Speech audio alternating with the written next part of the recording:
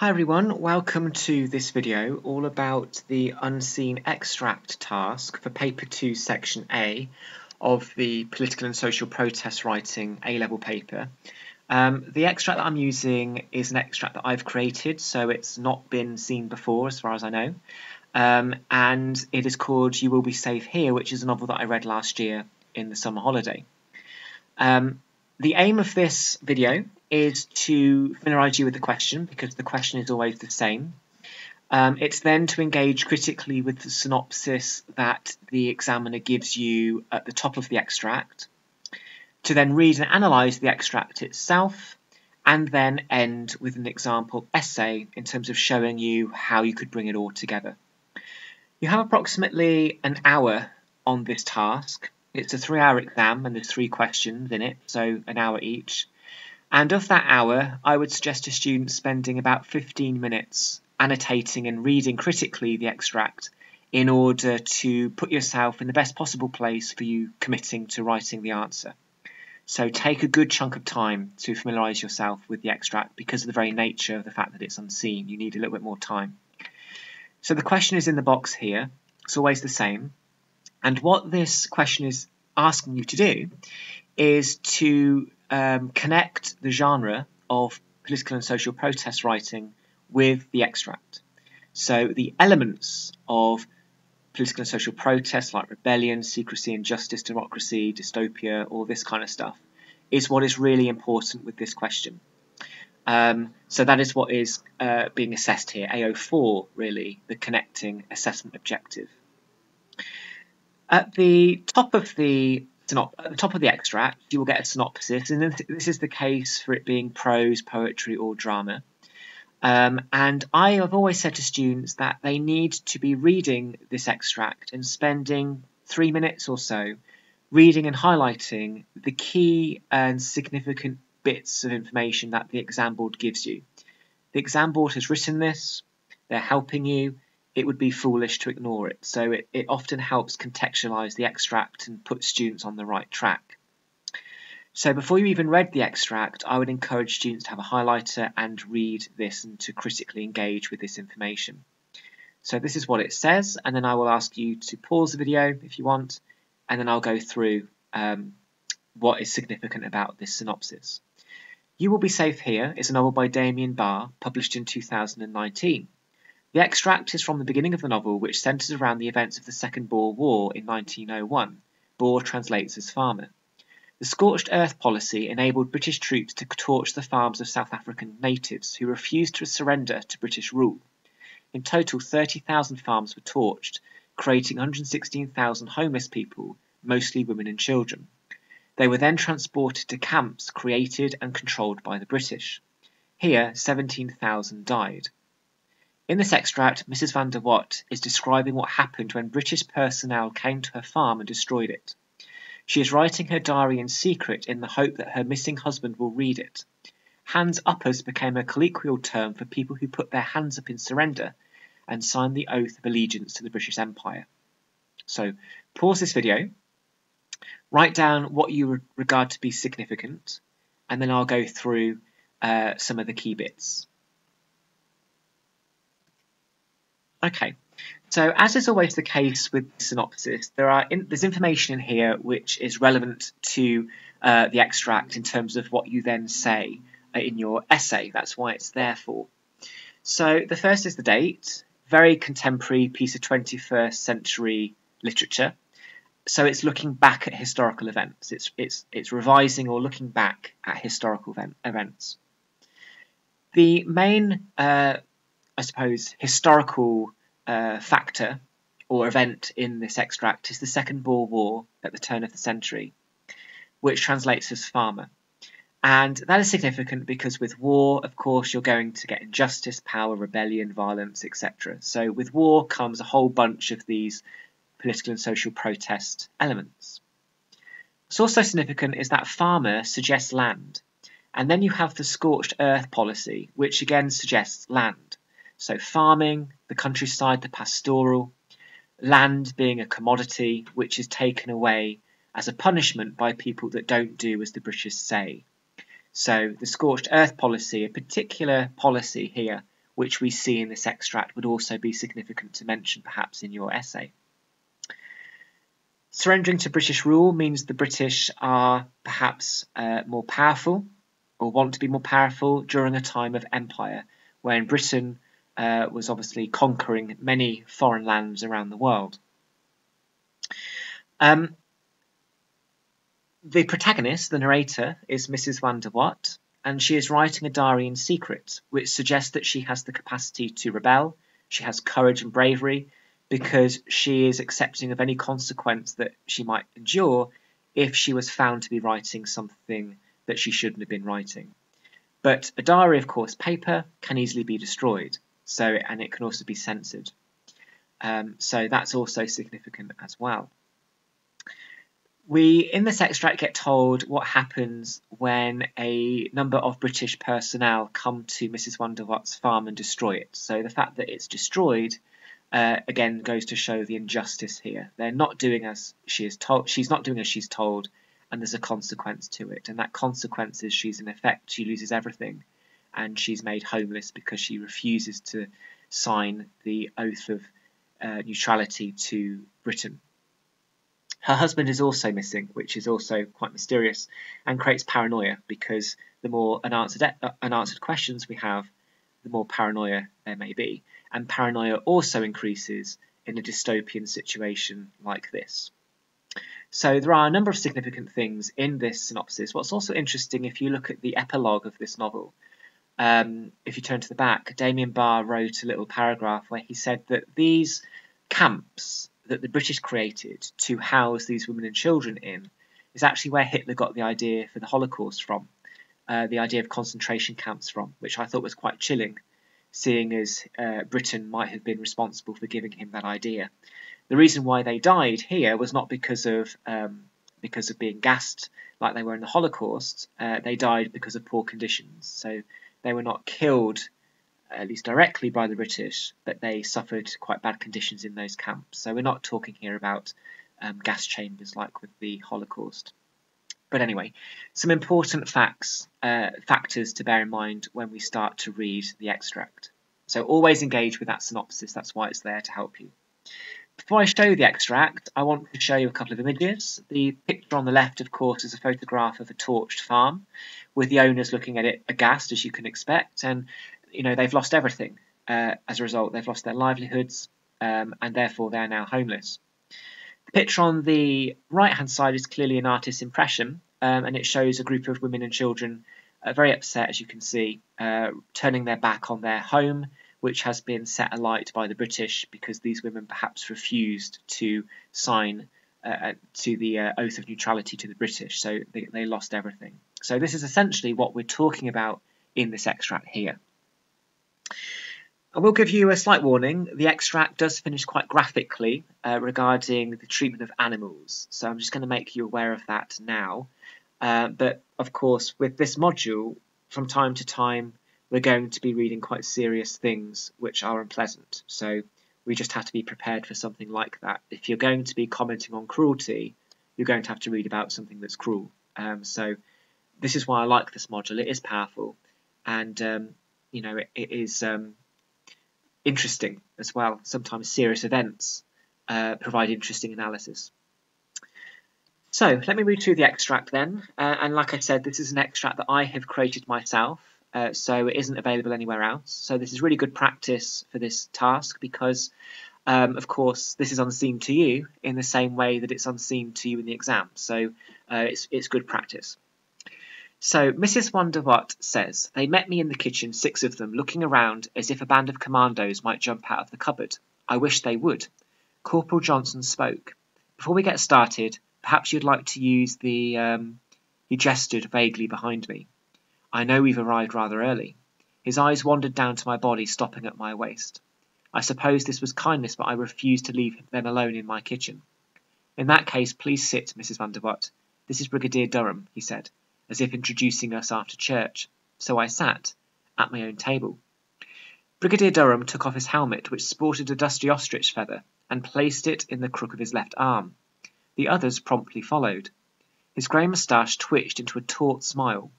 From a scarlet leather folder embossed with gold, the corporal passed the brigadier a crisp sheet of paper, which he slid over to me. It was neatly typed in our language and theirs. This is the oath of neutrality, he explained at a schoolroom pace. This oath says you will cease to offer support to the Republican rebels, that you will surrender any and all possessions which can offer material aid to said rebels, and it proclaims you as a subject of Her Majesty Victoria, by the grace of God, the United Kingdom of Great Britain and Ireland Queen, Defender of the Earth, Empress of India. I pushed it away. The corporal lifted the lid of last night's mutton still warm on the stove, and took a deep sniff. As I said, sir, he chimed, these Boer women out here for far too long, quite uncivilized. The brigadier stood and put his helmet back on, and his men followed, as one. He sighed. Mrs. van der Watt, nothing you say or do can stop what is about to happen, but if you sign the oath I promise you it will go easier on you after. I had not thought there would be an after. We are not here to harm you, the brigadier insisted. He leaned over me, so close his moustache almost brushed my cheeks, his breath rich with an officer's diet. We are here to stop this war, to bring peace. And to do that, we need you to stop giving support to your men out there on commando, the ones cutting our train lines and shooting at us from farms where the white flag flies. These same rebels are even burning the homes of your fellow countrymen who see the sense of what we're doing. Hands uppers, they're not my countrymen, they're cowards. They are sensible, Mrs. van der. Resistance only prolongs matters, stops us protecting Her Majesty's loyal subjects here and securing what is rightly ours. We are simply here to make sure all men receive equal rights under British law. Sign the oath and we'll take very good care of you and your children. I refused. Madam, said the brigadier, picking up the paper and handing it back to the corporal, who placed it carefully in his folder. There's no need for a scene. Corporal Johnson, have your men begin. The chickens were cackling for Fred to fetch their eggs. The corporal strode towards their coop, and I shouted stop, but his hand was already on the bolt. Out they streaked between his boots, like little white comets. Comets. Methodically, they rounded the birds up, cornering them against the wire. This is a farm. Fred knows what happens, but I told him not to look. Still, he saw the first one done. Squadrons of wasps, drawing by the blood, drawn by the blood, buzzed over the small white cairn of heads. We are about to begin indoors. You may have five minutes to remove anything you can carry. I grabbed my Bible, Fred's christening cup, my needlework case, this diary and pencils. Everything else they carried out and neatly stacked on a wagon. Ten years of our life gone in a single morning while I sat and watched. The bowl and mirror from our bedroom, the bedstead you carved for our first anniversary, our little wicker chair, Fred's bed, our table and chairs, my pots and pans, the armchair, pictures of our parents, Fred's christening robe and my wedding gown. I'm surprised they didn't take the very air. Last chance, Mrs. van der Watt. Sign. No, shouted Fred in English. No, no, no. The brigadier nodded at the corporal, who took out a box of matches, struck one and tossed it on our roof. The corporal struck another match and held it to the thatch, whisper dry midsummer. It took three more matches to smoke properly. The remaining animals, said the brigadier. I didn't know whether to cover Fred's eyes or ears. Let him watch, Mrs. van der Watt, said the corporal. Let him see what happens when you don't do as you are told. And so I watched Fred watch as our cows and pigs were slit nose to tail, mulberries still in their stomachs, screams still in their throats. The big man with Bush's arms worked fast, hacking and sawing and swatting away the flies. Soon our animals were no more than cuts of meat arranged with surprising delicacy on wooden crates. They shovelled the innards down the well and kicked salt over our vegetable garden, scuffing it with their boots. Nothing will grow there. The skin on my face drew tight as the flames danced across our roof. Okay, so that's the extract.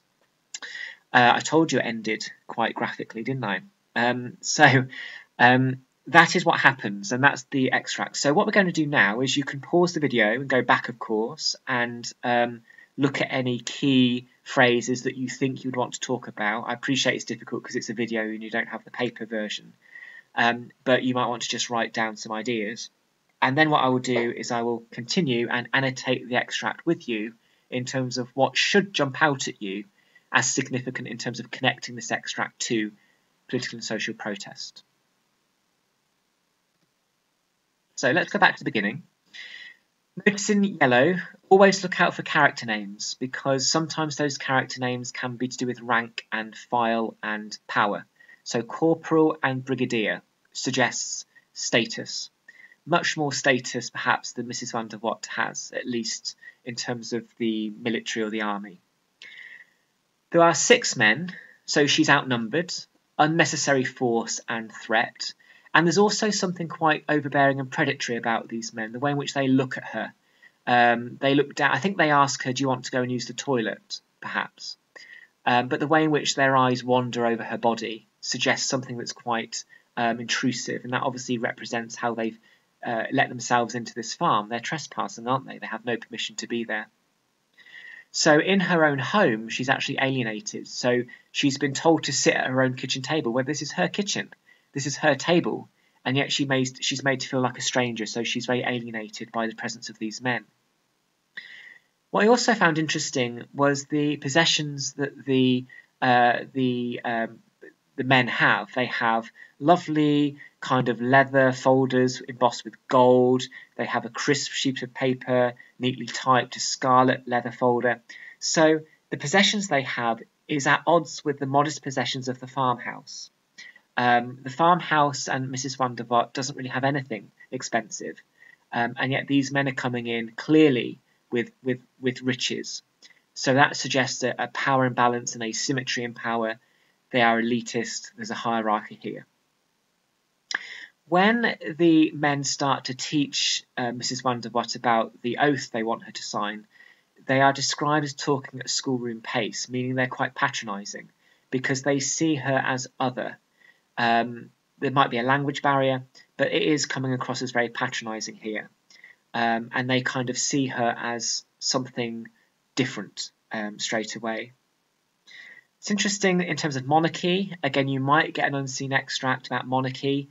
Obviously, monarchy and empire in this case is synonymous with power. Um, and we are all invited to be subjects of the monarchy, such as the king or queen. Um, so she is basically agreeing by signing this oath to be inferior, and she doesn't want to be. So she's signing her allegiance to a foreign power, and in doing, she's re rejecting her own country, which is why she is refusing. And it's interesting that Queen Victoria's full title is given here, including the grace of God, um, again suggesting there's a theocratic element here, a religious legitimacy here, perhaps, in terms of what they're doing.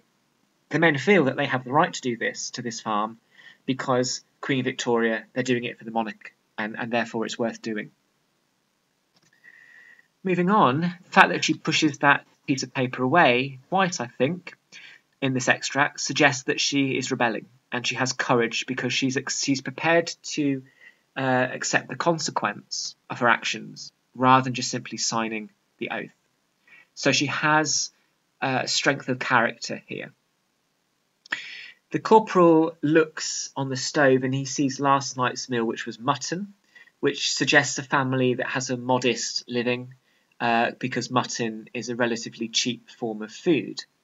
Um, they're seeing the family as uncivilized, which is obviously hugely ironic and hypocritical because I would argue isn't destroying somebody's home uncivilized. So it's an interesting use of that adjective uncivilized there.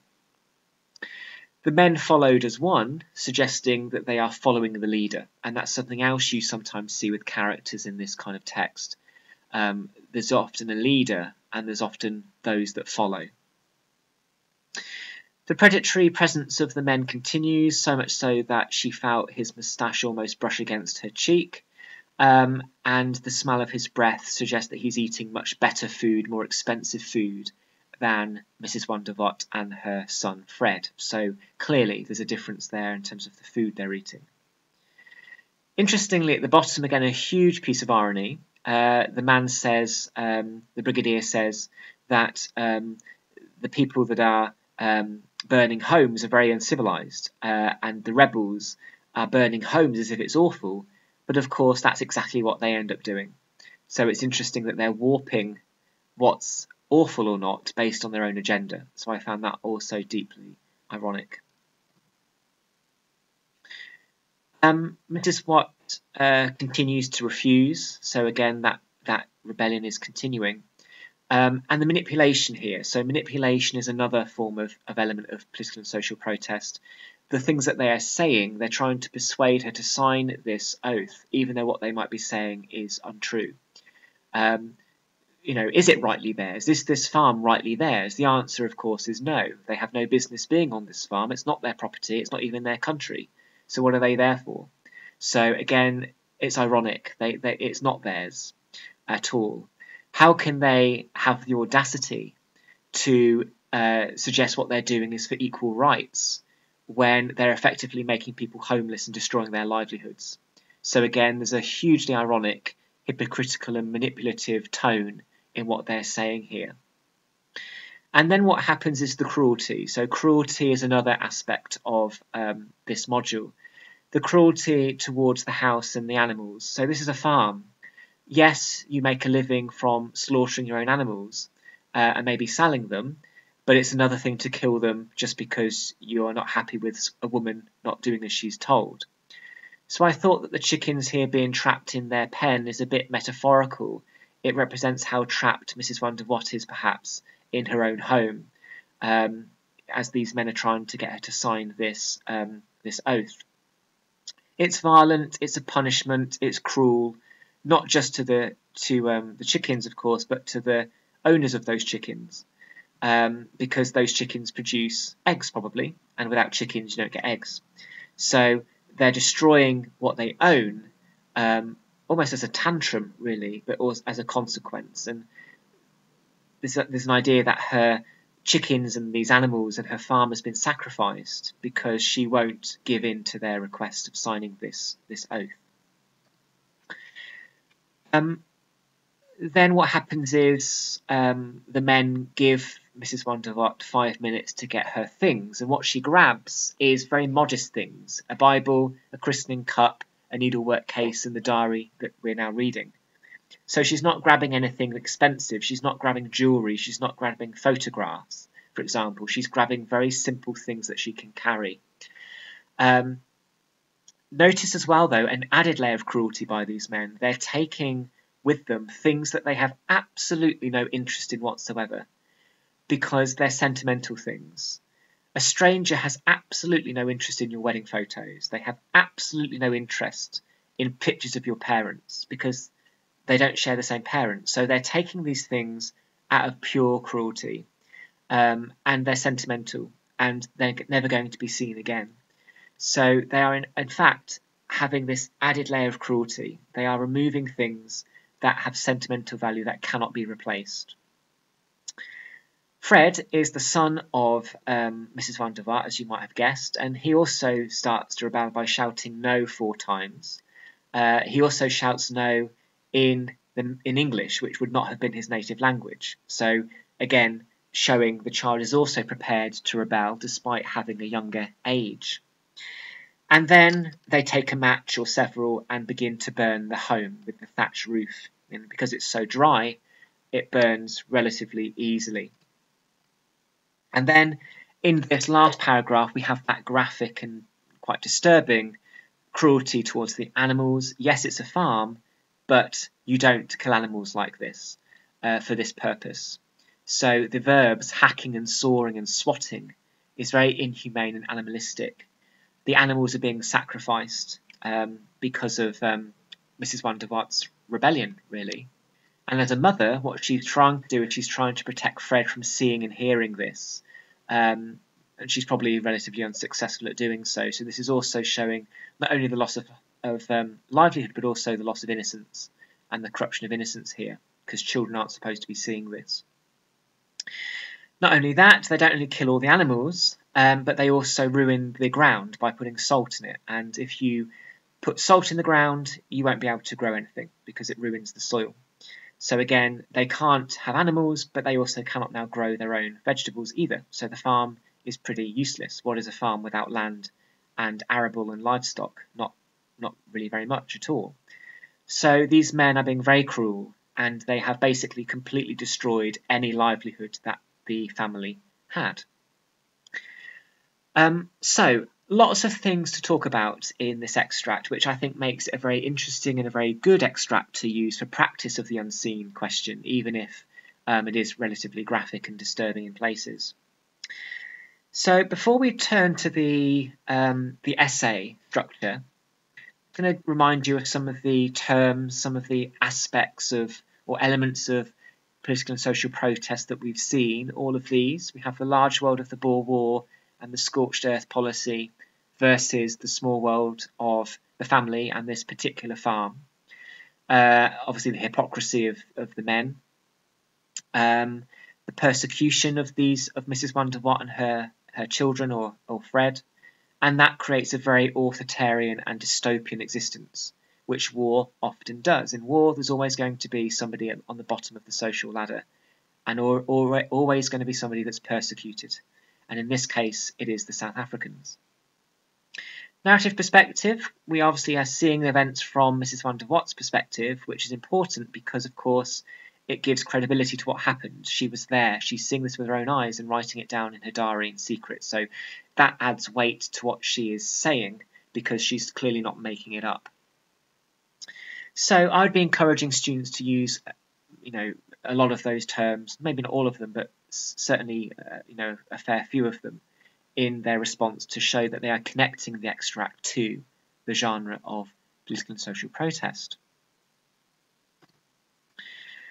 So the last thing I want to turn to now is the essay, because it's all very well, you know, spending half hour or so talking about the extracts and what's going on, but at the end of the day, this is an essay-based course, as you know. You need to be able to put some ideas down in an essay format on paper. So what is that going to look like?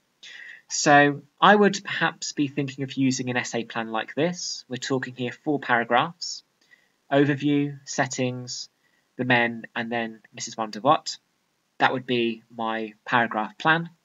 And that is the plan that I'm going to be following for the rest of this video in terms of showing you an example response uh, in terms of how you could use this um, extract to write the answer.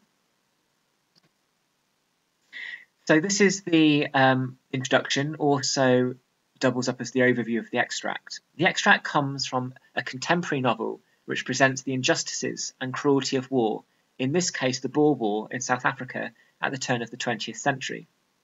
The extract reinforces how war can often come with unfairness and violence targeted at innocent people.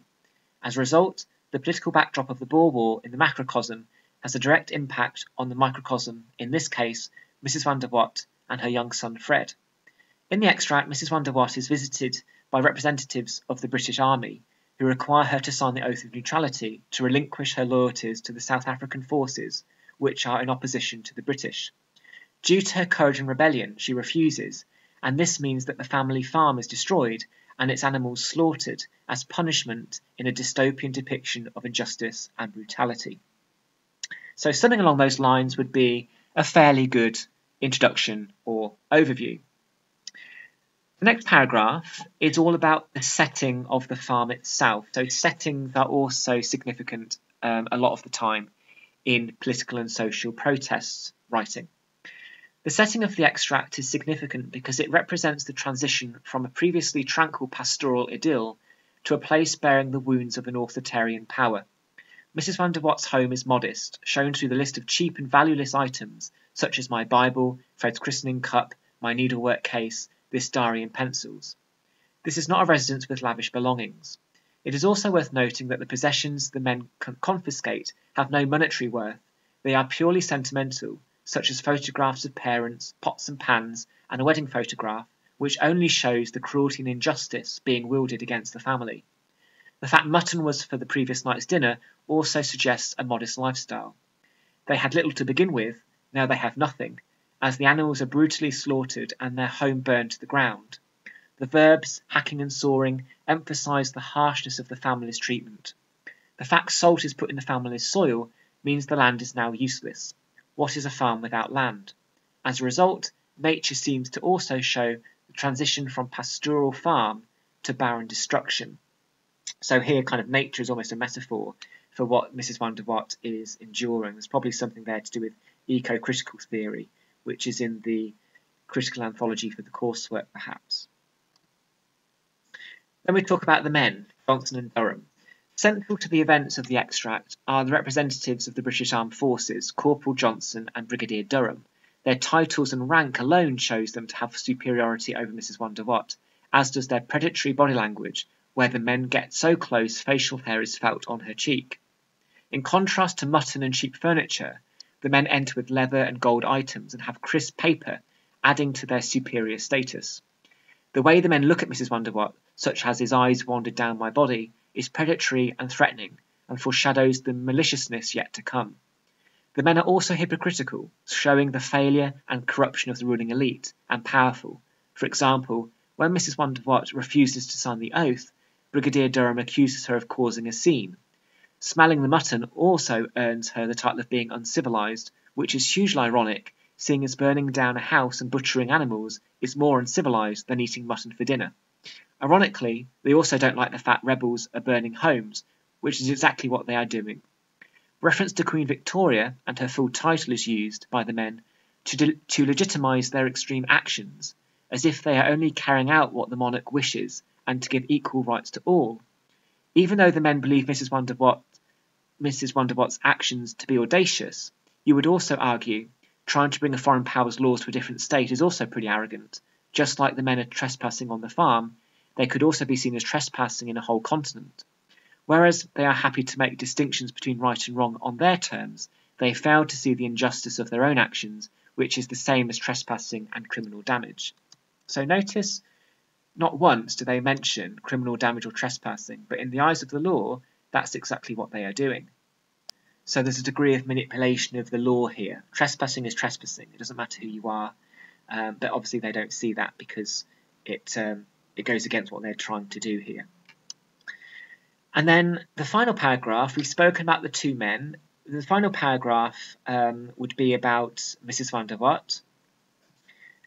There's another significant character, of course, in this extract. Opposing both men and the British is Mrs. van der Watt, our homodiegetic narrator who has written the whole event down in her diary in secret showing her capability to rebel and show courage. Arguably, she should have just signed the oath of neutrality brought to her, yet this would perhaps underestimate the amount of patriotism and principle she has, including loyalty to her homeland. The men's presence makes her feel like a stranger at her own home, suggesting they have made her feel alienated in their place which is hers. Her rebellion is not signing the oath, I refused, shows a character who is willing to accept any consequences or punishments. The way in which the chickens are cornered against the wire could metaphorically represent the way she and Fred feel they have been cornered in their farm on land that is rightly and legally theirs. The fact her face grew tight at the sight of her home in flames and her animals in pieces of meat suggests an inner resilience and strength that, even with everyone killed or destroyed, she keeps someone she keeps some dignity and hasn't sacrificed her principles. So arguably, therefore, she actually ends up being the winner because they still haven't got what they wanted, um, but she hasn't sacrificed her principles for it. If you wanted to, you could finish off with a little conclusion. That could just be a sentence saying something like, as explained, or as you can see, elements of political and social protest writing are evident in the extract, something like that, and that would be your conclusion. The danger with the conclusion is you would end up repeating yourself unnecessarily. So, in summary then, that is all about Paper 2, Section A, the unseen extract task. This will be unseen to you unless you've read this book because it's an extract that I've created myself, so it's not out there. Um, so you, it is very much like the exam. Um, and yeah, this task is all about connecting the genre of political and social protest and its elements to an extract you've not seen before. And that extract could be prose, poetry, or drama. Okay, approximately an hour on this, 15 minutes planning, 45 minutes writing. Devise a, an essay plan to begin with, like I showed you, like that, and that will give you a good essay structure. Um, and also don't obligate yourself to talk about everything in the extract. You can't do that in the time. So always pick with a highlighter or you know make a symbol uh, in the margin the significant bits of the extract to you and explain them with as much confidence as you can and have confidence. Because you know you've been you've been studying literature for two years. You know the you know the genre. Uh, you can read you can write. You have everything you need to do well. So good luck um, and thank you very much for watching